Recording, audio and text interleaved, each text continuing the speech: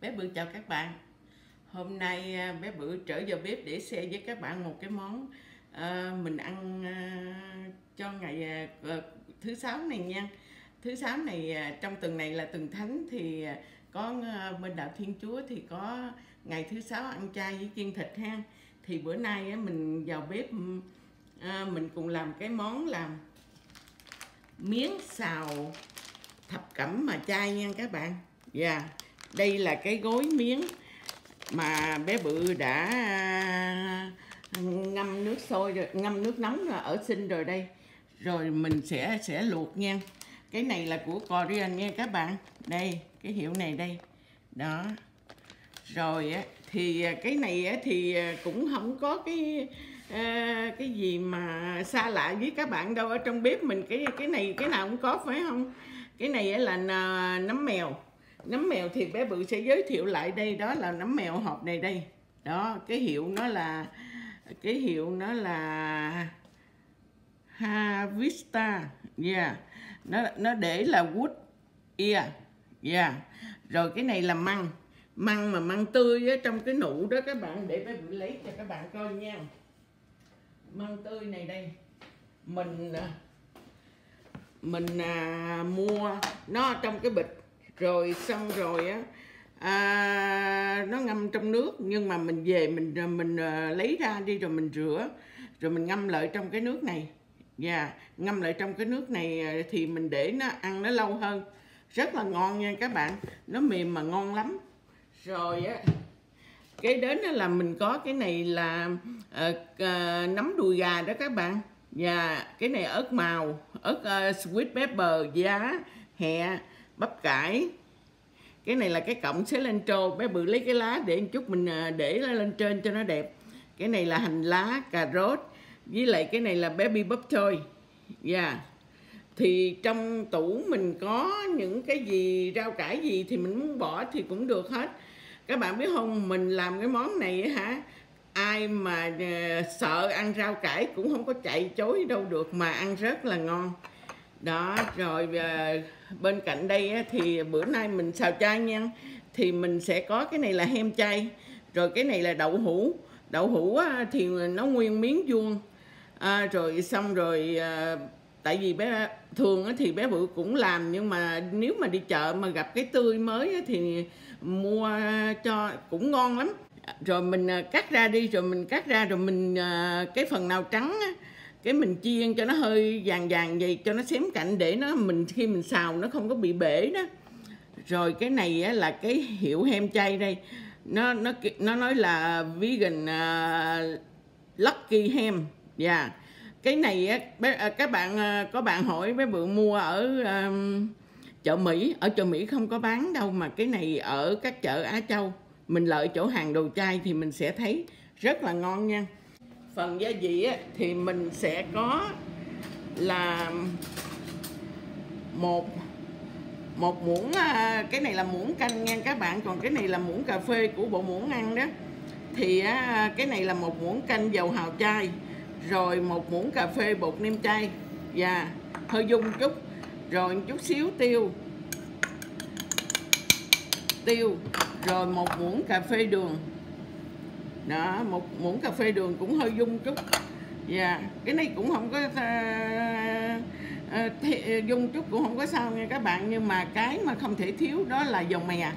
Dầu mè á bé bự mua trong một cái thùng thành ra bây giờ phải chế vô trong này để mình uh, xài dần đó thì mình sẽ cho vô đây là một muỗng cà phê dầu mè. Đó một muỗng cà phê dầu mè với mình cho là một muỗng cà phê nước nước tương. Đó mỗi thứ mình cũng cái gì mình cũng cho dung dung chút xíu đi hang bán rẻ đi. Rồi rồi bây giờ á, thì à, mình à, sẽ qua bên bếp mình xào thôi. Dạ. Rồi thì á, cái à, cái miếng này nha các bạn cái miếng này á, là mình sẽ không có phải mà xào trực tiếp được.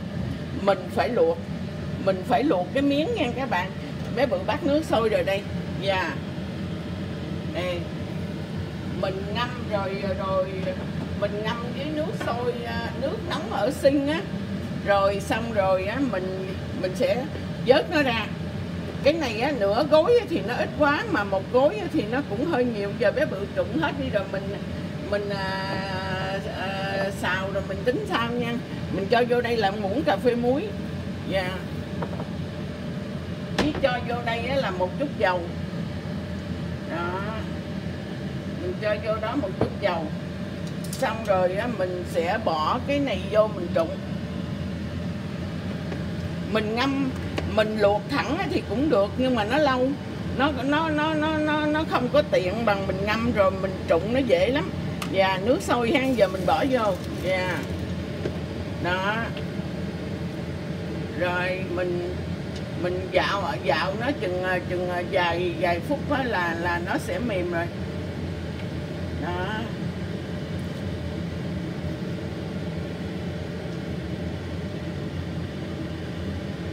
mình thử này, mềm, mau mềm lắm nha các bạn. Rồi bây giờ bé bự sẽ tắt bếp. Và mình sẽ đem qua bên này. Mình sẽ đem qua bên này mình đổ ra. Yeah. đây. Mình sẽ đổ ra. Đó mình đổ ra hen đó rồi bây giờ mình sẽ đổ cái nước này ra. Rồi. Mình sẽ sóc lại à, với lại dầu dầu mè. Mình sẽ cho vô đây chút dầu mè để mình sóc nó cho nó đừng có, cho nó rời ra đó các bạn. Yeah. đó. Nó vừa thơm mà nó vừa à, rồi cái bún của mình nữa. Mình mình không cần rửa lại nha các bạn. Dạ. Yeah. em trộn trước em mà trộn trước rồi sau đó mình lấy cái kéo. Mình sẽ cắt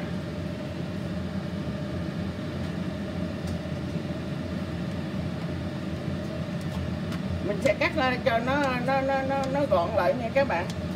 Dạ. Yeah. đó. Rồi rồi coi như là mình để cái phần này ở một bên đây ha. Rồi bây giờ mình sẽ cho cái chảo này lên nóng và mình sẽ xào. Thì xào ở đây thì mình ờ, sẽ có tỏi với có hành lá. Mình cho cái chảo nóng đi. Rồi mình sẽ, nếu mà các bạn ờ, ăn chay trường á, ăn ăn chay mà theo bên đạo Phật mà nếu mà không ăn hành, ăn tỏi thì mình dùng ba rô nha. Còn cái này thì à, bé bự à, à, làm theo cái kiểu mà mình không có thịt thôi, không có thịt cá thôi. Đó, mình cho hai muỗng canh cái này là dầu mà bé bự phi hành đó, rồi mình để dành, mình xào đồ ăn. Và rất là ngon. Xong rồi á, mình sẽ cho cái hành phi này vô. Cái cái hành cộng, hành hành cộng mình vô mình phi cho nó vàng đó. Mình phi cái hành cộng này cho thật là vàng. Cái món này thì cũng lẹ lắm. Nha yeah. nghĩa là các bé ha, người lớn mà à, không có thích ăn rau củ rồi rau cải đồ không thích ăn salad rồi đó là không có thể chạy chối ở đâu được hết trơn á mà ăn hết nha các bạn các bé sẽ ăn hết rau cải luôn, hồi nào mà cũng không hay luôn á. Yeah. rất là ngon. Mình sẽ phi cho nó vàng nha các bạn. Phi cái này cho thật là vàng. Rồi mình mới xào à, xào cái người thì kêu là miếng, người thì kêu là, nó kêu là oriental núi đồ thì à, kêu sao cũng được hết các bạn miễn sao mà mình ăn, thấy ăn ăn ngon là được rồi, phải không? Đó, bây giờ các bạn thấy à, cái hành nó đã vàng chưa? Đó. Phải cho nó cháy vàng vậy cho nó thơm. Nó thơm nó mới ngon. Không, em không có đậu đổ cái này không có rồi á, mình sẽ xào cái này đây, mình sẽ cho cái miếng này vô. Đó. Cho cái miếng này vô, mình xào lên nha. Đó.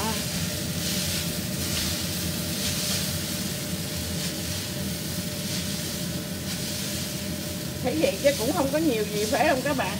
Cái này á, mình à, các bạn biết không, mình à, mình đi làm, mình ăn nó cũng dễ nữa. Bây giờ mình à, mình xới nó lên vậy mà cái nào nó dài quá thì mình cũng cắt bớt. Nha cái này mình phải trụng nha các bạn. Không không có trụng á là là là à, xào nó là khó mà nó lâu hơn. Đó. Rồi á bây giờ á, bé bự sẽ cho vô đây á, là một chừng một muỗng cà phê bột nêm chay thôi ha. Dạ. Đó.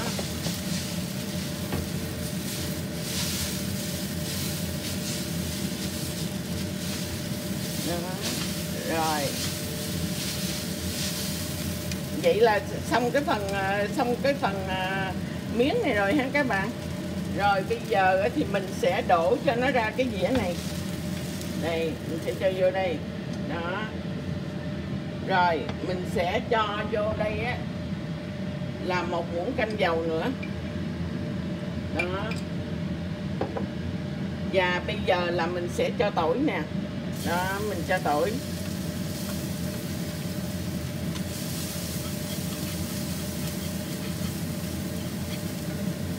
Thật ra đó à, kiêng thịt mà bên à, đạo à, đạo thiên chúa đó thì ăn trứng, ăn tôm đồ được. Dạ nhưng mà mấy bự thấy mình cũng không cần thiết mình phải ăn cái đó thì mình hãm mình luôn đi ha. Rồi mình sẽ cho cái mình xào vậy nè, đậu hũ nó không có à, nó, nó mình sắc đậu hũ mình chiên vậy nó không có bị nát mình cũng cho một chút xíu vô nha các bạn. Cho chừng à, nửa muỗng cà phê thôi. Nha yeah. đó. Cho chút tiêu vô cho nó thơm. Cái hem này rất là ngon nha các bạn. Dạ. Yeah. đó rồi mình xào lên ha thật ra đó làm mà cái này là đã chín rồi đậu hũ thì mình cũng ăn được rồi nhưng mà mình muốn xào để cho nó nó nó, nó thơm cho nó ngon hơn biết các bạn? Yeah. rồi bây giờ mình sẽ cho nó vô trong này luôn. Đó. Rồi bây giờ mình à, bắt đầu là mình xào rau cải đây đó cho một muỗng uh, muỗng canh thôi. Yeah mình sẽ cho tỏi vô nè. Đó. Cho hết đi ha cái cái này à, hành tỏi thì cái cái tỏi này thì không có thành vấn đề. Em nghĩ đủ rồi. Đủ rồi. Á cái rau cỡ củ á, thì mình cái nào à, mà cái nào mà sống á, thì mà à, cái nào mình không có thể ăn sống được thì mình cho vô trước. Chẳng hạn như nấm mèo nè măng nè với mới ờ, cái cái ờ, nấm ờ, đùi gà nè. Đó. Mình sẽ cho vô trước. Đó. Còn mấy cái kia đó là mình cũng có thể ăn sống được. Đó, mình xào cái này đi. Xào cái này á, mà thiếu măng với lại nấm mèo á lại không có ngon nha các bạn. Và rồi bây giờ đó sẽ lấy sẽ lấy cái à, cái chén mà gia vị này à, mình bỏ vô. Nha yeah. mình quậy cái, cái gia vị này rồi mình bỏ vô. Đó. Rồi mình sẽ cho chút xíu nước vô này mình cái yeah. Dạ. Mình sẽ tráng à, cái chén này ha. Chừng à, chừng hai muỗng canh thôi. Đó.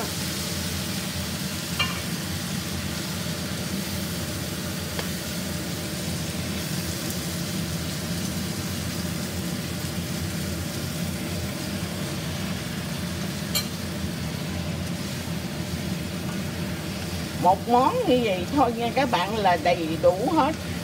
Nhất là rau rau ờ, rau củ. Đôi khi á mình à, nếu mà mình ăn cơm á mà mình ăn một bữa cơm á mà mình à, mình có một à, một dĩa rau mình xào một dĩa rau đâu có được bằng bao nhiêu rau đâu đây đâu phải không các bạn? Ý là bé bự đã bỏ vô một phần ở bên này nữa. Nhưng mà như vậy làm mình ăn mà rất là ngon. Và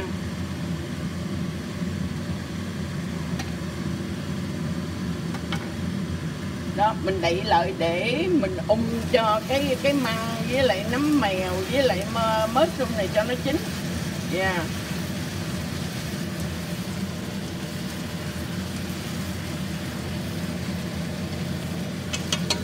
thì trong cái này là, lúc này là mình ờ, nếm thử được rồi rất là ngon nha các bạn. Ngon lắm. Vừa lắm rồi. Nếu mà các bạn ờ, tùy theo khẩu vị của các bạn các bạn có thể nghĩa là à, muốn ví dụ như muốn ăn mặn hơn hay muốn ăn lạc hơn thì thì mình bỏ thêm lúc này nha. Đó. Mình cho măng với nấm mèo với lại à, À, à, cái à, nấm à, đùi gà đó cho nó cho nó chín. Nha. Yeah. đó. Rồi á, sau đó đó là mình sẽ cho đó là à, cái uh, baby bắp trôi nè rồi cà rốt nè rồi uh, mình vô mình trộn trước đi. Các bạn thấy không? Rau cải không của là một chảo rồi đó. Đó, rất là ngon. Các bạn thấy màu sắc nó hài hòa không? Nó có xanh, có đỏ, có vàng. Và nó có màu đen nữa. Không có đâu. Cái này tại vì rau cải mình không có trụng mà. Rồi, mình sẽ cho mấy cái này vô luôn. Đó. Mình à, mình trộn lên.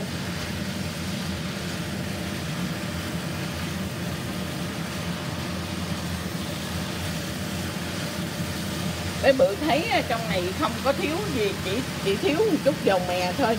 Mình cho thêm chừng muỗng muỗng cà phê ha muỗng canh dầu mè thôi. Muỗng cà phê ha hai muỗng cà phê thôi đó rồi mình trộn lại. Mình trộn cái này mà cho nó đều rồi thì mình tắt lửa rồi mình trộn cái kia vô là xong. Đó. Các bạn thấy không? Màu sắc rất là ngon phải không? Dạ. Yeah. à, tại vì ở trong bếp của cái bự nó hơi tối rồi bây giờ mình tắt lửa nha mình trộn vậy là được rồi. Mình à, trò tại vì á mà ờ, mình xào vậy cho cái rau cải nó còn giòn mà nó còn xanh nữa. Mình trộn cái này vô nữa là xong. Đó.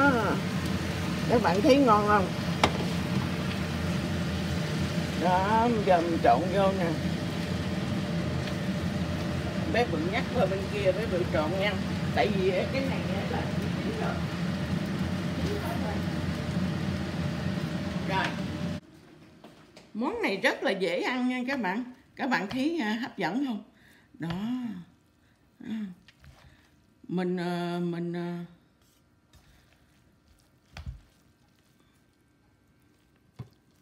chỉ một món thôi nhưng mà mình ăn rất là dễ ăn.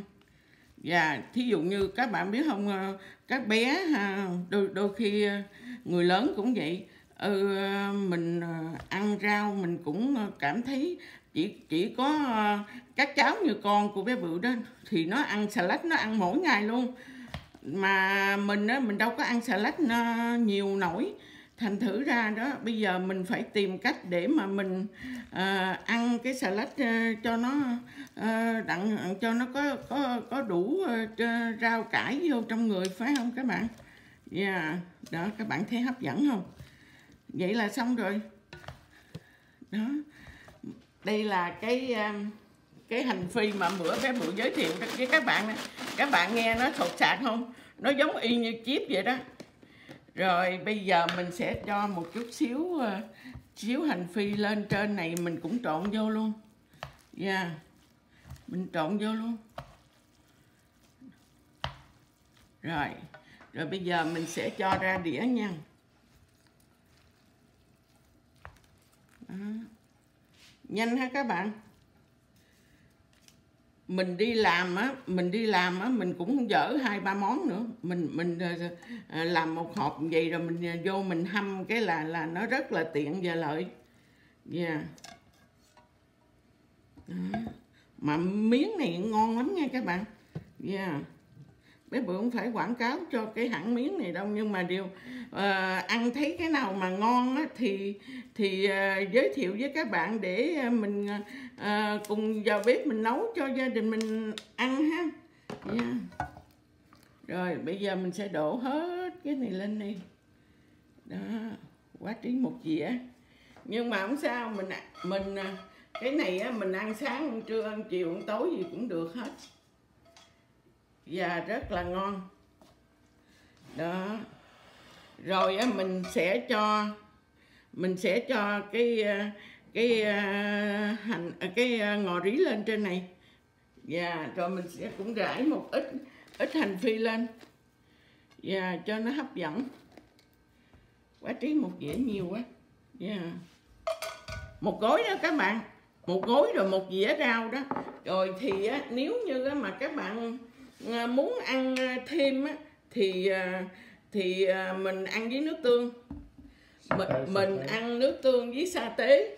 Nếu mà mình không thích ăn sa tế thì mình sẽ ăn với lại ớt trái đó các bạn. Ớt trái rồi xong mình mình sắc ra miếng miếng á, mình bỏ vô nước tương này ăn cũng ngon. Đó. Rồi á thêm một cái nữa nếu mà như các bạn thích á thì mình sẽ ăn mình sẽ cho xì ra trà nha yeah. Dạ. đó mình bới nó vô mình sớt nó vô dĩa rồi mình gấp vô dĩa rồi ha. Cái mình rải xì ra trà lên trên là mình ăn rất là ngon.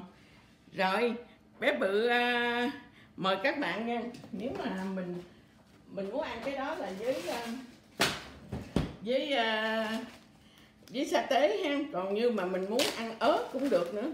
Mình ăn ớt thì mình lấy à, cái bữa mua ớt á, rồi xong rồi mình à, à bỏ vô khô dành á chừng nào mình ăn á, thì mình à, mình lấy à, ra, ra mình ăn thôi chứ mà mình để mình mua mình đâu có ăn một lần mà cho hết đâu phải không các bạn?